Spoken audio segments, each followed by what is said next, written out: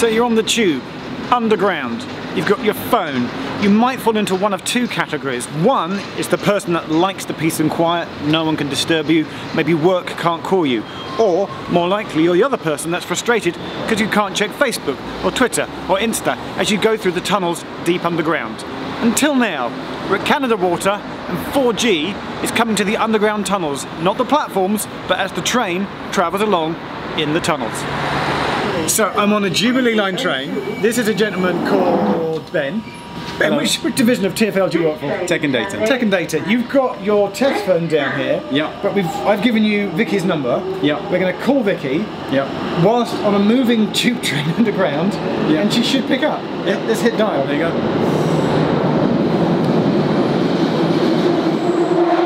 It's ringing. Hello. Hello, I'm the train. So I appreciate that was really noisy and you couldn't hear Vicky, but she answered the phone, and for me, I was like, wow, well, I'm underground, and she picks up the phone. Now, the tube is quite noisy in certain places, so actually, I don't think people will be making that many phone calls, but surely a thing you can do is you can browse Twitter and Facebook and, and these websites, and also, can you watch streaming video? Can you watch YouTube? So, Ben, what I'd like to do as a test, if we go out, if we get out to uh, We're on our way now to Canning West- Town. Canning Town. Yeah. Is that above ground? That's Yes, above ground, so we'll have to go back. So could we start, say we could like stream a YouTube video, Yeah. and then as we go into the tunnel, it won't cut out, it will just keep on playing. So Ben, you've got up my YouTube channel, Yeah, have indeed. you've got my human tube map video on your phone, Yeah. and we're going to go into the tunnel, and it will just carry on? The idea is it will carry on uninterrupted. The slight problem we have is that we don't have enough pink.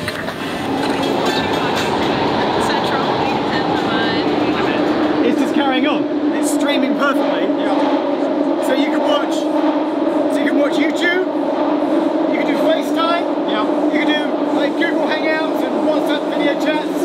Anything you can do with your mobile, you can do on the tube. Do we all remember the Dom Jolly uh, sketch show? Uh, Trigger Happy TV. Hello. Hello! No, yeah, just now I'm in the sun. Yeah, just chilling out. You can now be that annoying person on the tube going, "Hello, I've got, are you FaceTiming someone?" Yeah, he wants to screenshot it. Oh, hello, Paul. How you doing? We've just jumped out at, uh, at Canary Wharf. I've got no, I've got Wi-Fi, but I've definitely got no service. I've got no cell cell service on my phone. I'm just gonna, just to be absolutely sure, I'm gonna turn off my Wi-Fi. There we go. I've got nothing. I've got no service, nothing on my phone. If you do the same, then you've you got a full, Yeah, I've got full 4G. a full 4G signal. Yeah, I can do a quick speed test for you. Oh, let's do a speed test.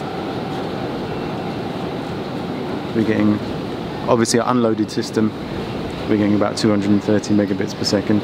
It feels really weird when you're just used to like being underground and you have no signal and suddenly your phone is going, or Ben's test phone is like, yep, it works, it rings, it's working.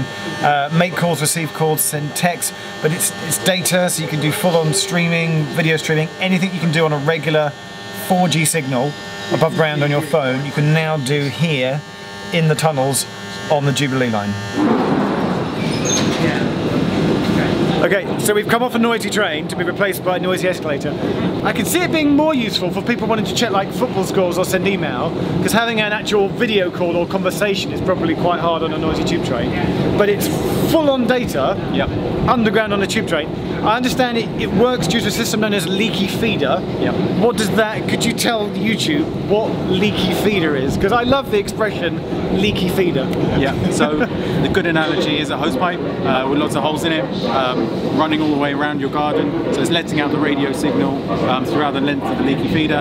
Um, so we have high power radios at each end of the tunnel. Yep. That's broadcasting the signal through the leaky feeder and distributing it across the tunnel. So a cable is running the length of, of the tunnel, sort of pump, pumping the signal out. We've got two very thick cables, How, how thick? How big are the cables? uh, around that thick, okay. about four inches. Wow. Um, and they have slats in them uh, every so often, around every 10 centimeters, I think. Okay. Um, in each port of each tunnel, we've got the two cables, and they're providing service for all four operators. But how, and will it even work if you start your sort of phone call outside and you go underground? It just switches like above ground. It would switch cell. It knows how to switch from a cell to the leaky feeder cable in the tunnel. Exactly. That's very clever. Mobile networks have configured their system so that it'll switch from macro layer, from outdoor coverage, Okay. through to our, our service, which is underground. Okay. Uh, and the leaky feeder will just pick up that signal as soon as you enter the tunnel. So just to check, so it's on all four networks, all the four, the four big boys, Correct. and all their sort of subordinates. Correct. Yeah. Uh, only between what Westminster and Canning Town at the moment. That's right. But ultimately could be rolled out to the entire underground. Yeah. So the whole of the tube should ultimately be on 4G. Eventually, yes. You're probably thinking, hang on, Geoff, you told me it was just tunnels. It's in stations as well, and tunnels, but it's just easier and less noisier to show this to you in the station. So where's where's the bit of kit? That's one of our radio units. Within each of those boxes is four individual radios supporting different frequencies. The idea is that we have something called MIMO, multiple in, multiple out. So every radio is duplicated, and that's how you get the fast performance which mobile operators expect. Just to confirm again, I'm getting no service, and over here you're getting 4G plus bars on your phone. That's amazing.